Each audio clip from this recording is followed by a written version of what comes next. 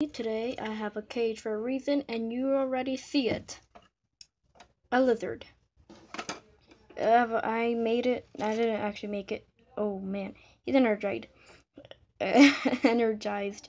He is happy and stuff. He isn't my pet, but it's kind of part my pet. Hey, come on. Come on. You have to be a YouTube star.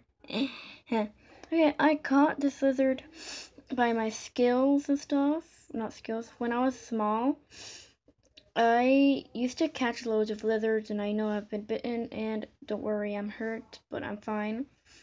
And I love lizards. He he's pretty cool. Just sorry for my foot. Um but he's pretty cool.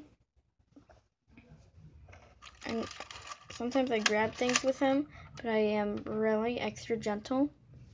So yeah, uh, come on, Lizzie. Lizzie, get off. Get off of me. Uh, it's kind of hard with a camera on. So this is Lizzie. Well, actually, I sometimes I call him Lizzie. It's a boy because it's a little thingy. And I actually call him Rocky because he looks like when he's brown, I call him Rocky, and when he is green, I call him Lizzie.